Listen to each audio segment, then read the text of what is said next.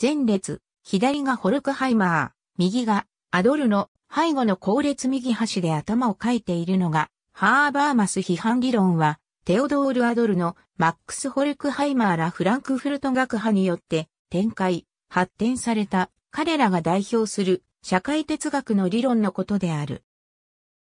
批判と訳される A、クリティークを特に批評と訳す場合、この理論は批評理論と訳されることもある。批判理論の出発点はカール・マルクスの著作にある。労働運動や様々な政党、あるいは政治運動によるマルクスの著作の需要はかなり歪んでいたり、短絡的なものであった。したがって、マルクスは再解釈の必要がある。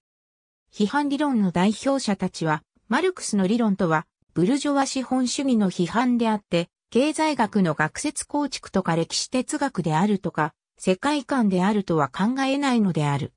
さらに人は、ジークムント・フロイトの精神分析からも様々なカテゴリーが批判理論に取り込まれていると指摘する。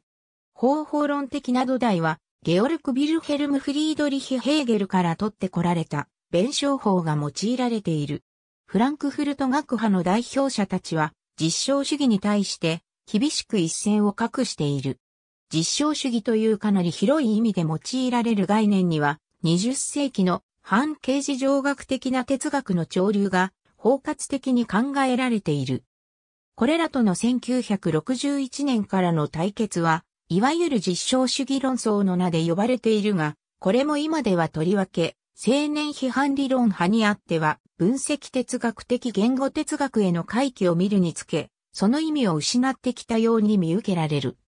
批判理論の発展は、1931年、マックス・ホルクハイマーが、フランクフルト・アムマインの社会研究所の所長に就任した時から始まる。批判理論という名前は、1937年、ホルクハイマーが発表したプログラム的な論文、伝統的理論と批判理論のタイトルから取ってこられたものである。批判理論の代表作とされているのは、ホルクハイマーとテオドール・アドルノが1944から1947年に共同執筆した論文集、啓蒙の弁証法である。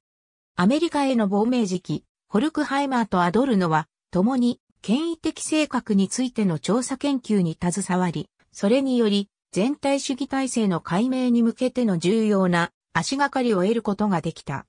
第二次世界大戦後、ホルクハイマーとアドルノの周辺の研究者たちの仕事が、総じてフランクフルト学派と呼ばれるようになる。国家社会主義との対決の経験を通して、批判理論は新たな飛躍を遂げていた。アドルノの教え子たちの多くは、彼らに批判理論をもたらすことになった1933年から1945年の出来事に対して合理的な説明を望んだのである。批判理論は世界的な大学紛争に巻き込まれた1968年代の運動の中でその開花期を迎える。ドイツではルディドチケが大きな影響を受けた。ホルクハイマー、アドルノらの批判理論は折に触れて旧批判理論と呼ばれるようになり、それに対してユルゲン・ハーバーマスが代表する新しい考え方が新批判理論と呼ばれるようになる。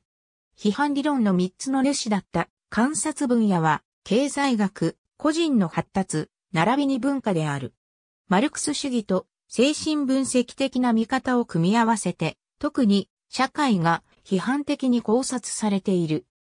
この社会は単なる特定の時代の人間の相対と捉えられるだけではなく、むしろ個人を圧倒する形で、それに対峙し、人の性格や行動の可能性を幅広く、しかも人間が社会の形成に寄与しうる以上に強力な形で形作る様々な関係として捉えられている。その際、特別な仲介的役割を果たすことになるのが、家庭における社会化並びに大衆メディア、大衆文化である。逆に、資本主義の社会においては増大していく、技術化、科学的な進歩、そこから由来する官僚性によって、阻害が進行し、個人の意味が失われている。理性が道具的、合目的的なものに変わっていくなら、啓蒙的な理性は人間の本質としての世界に対する真の認識に到達することができるだろう。道具的な理性は世界とそして人間を唯一公用の視点から見るものである。個人の間の関係は伝統的な束縛から解放されて初めてそれ自体のものとして見られるようになり、客観化され、そして交換的な関係そのもののみに還元されることができる。最後に、個々人に包括的な社会的統制を行使し、理想主義、神経式主義、慣習、あるいは創造性を個人の性格に対峙するものとして抑圧する全体主義的な管理社会がある。批判理論は哲学が来たるべき社会でのより良い関係を目指して社会の中で実践的かつ中心的で意義あるものであることを強く期待するのである。